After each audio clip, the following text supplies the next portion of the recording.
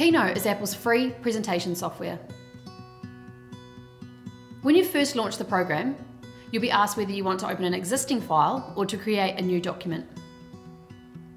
We'll open a new document today, but if you're working from a supplied template, you can open that file instead.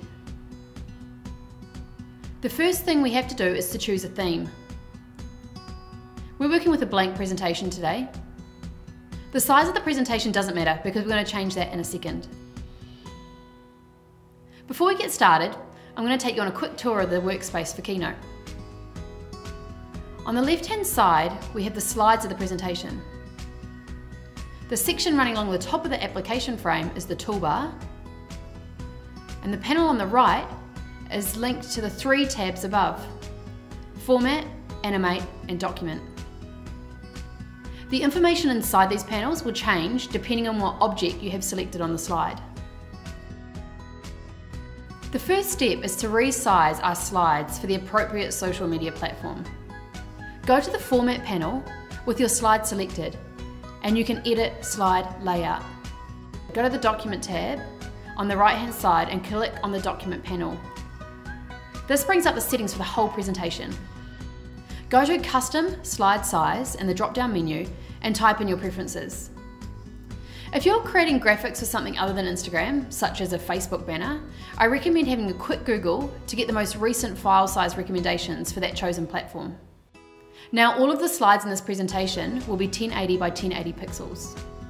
This size will ensure that our graphics are high resolution. Keynote can only do one slide size at a time. If you're building up some templates for your visual branding, You'll need one file for your Instagram newsfeed images and another for your Instagram story images, for example.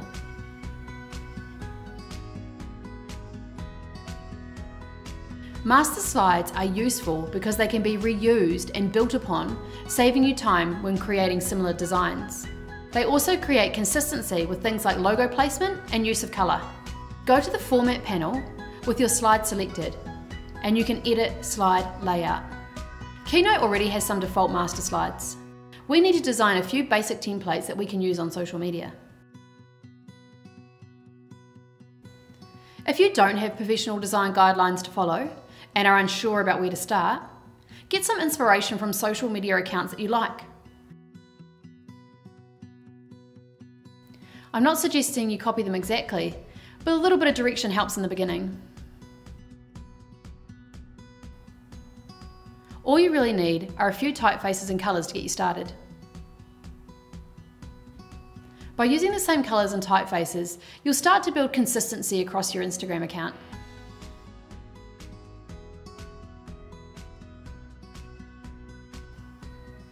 I'm going to really quickly create a few slides based off an Instagram account that I follow that I think has got a great balance of images and graphic based tiles.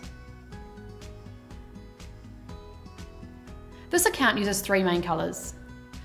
A serif typeface for the body, and a basic sans serif font for the fine print. There's also this little lightning bolt symbol.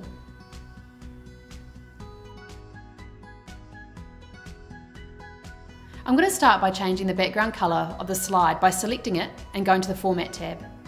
You can change the background colour here by using the default colours, or you can add your own hex colour if you have a particular colour in mind.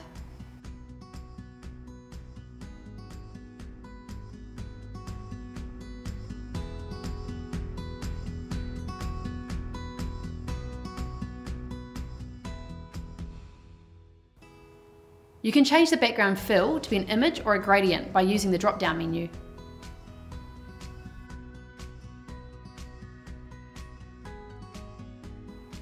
Next we'll change the style of the text. Keynote has access to all of the active fonts on your computer. If you have a particular font you want to use, make sure it's already loaded onto your computer before opening the program. Please note if the fonts you use in Keynote aren't available when you open the document later on, They'll all default to a system font. Once you've styled your text, you end up with this asterisk. This means the original style, in this case title, has been changed. Hit the update button and now every instance of this style will be updated throughout the presentation. When you're working on master slides, Make sure that anything you want to be able to edit later on has the define as text placeholder checkbox ticked in the style panel, or you won't be able to edit it. You can create new paragraph styles by clicking on the plus when you open the text style drop-down menu. Remember, when you have something like a text box highlighted, you'll know what can be changed about it by whatever's available in the right-hand column. Keynote has some surprising flexibility when it comes to creating shapes. There is a simple pen tool here that I'll use to draw one half of this frame. Once I've created this half of the frame, I can copy and paste it and then go to the Arrange panel and flip it horizontally.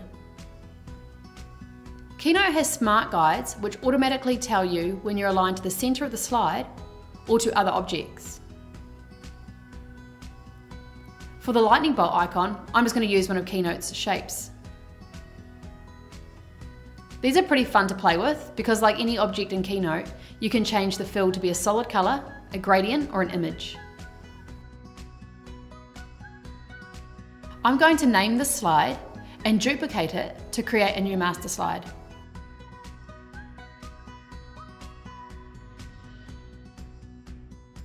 I'll quickly adjust the design and update our new text style.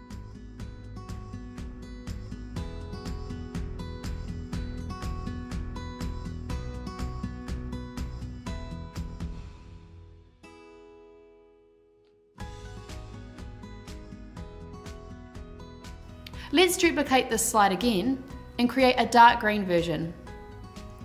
I'll change the text style for quote and add in this little line.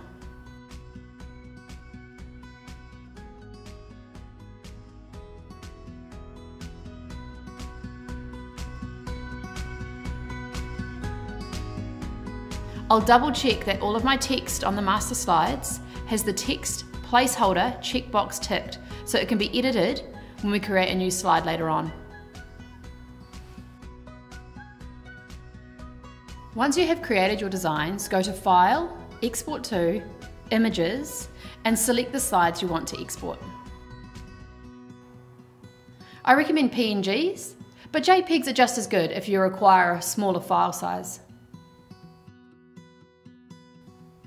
Keynote will ask for a location to place the files and will automatically create a folder, placing all of your image files inside. You now have a set of images ready to be used on social media. If you're using automatic posting software like Preview, Later, or Hootsuite, you can now schedule your social media releases like a pro. If you have been supplied with design templates, then the first thing you must do is make sure the fonts supplied by the designer have been activated. Your design templates have been built as master pages, as well as having a sample of each design in the main presentation. Use the plus symbol to create a new slide. This will bring up the master slides that have been created.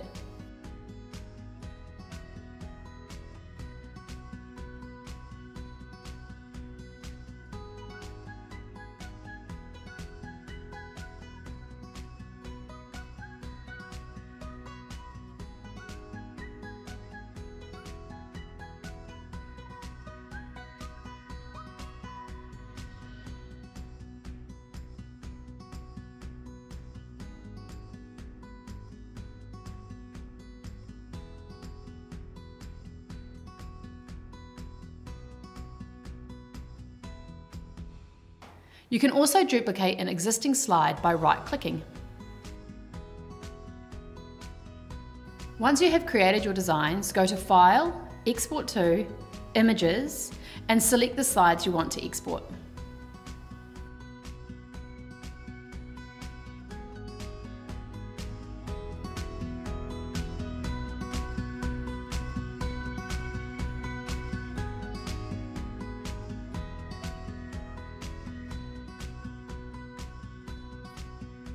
I hope you found this tutorial helpful. Keynote is a really great tool for creating your own professional looking graphics without needing specialised design software. Thanks for watching and leave any questions you have in the comments below. Don't forget to like, subscribe and share.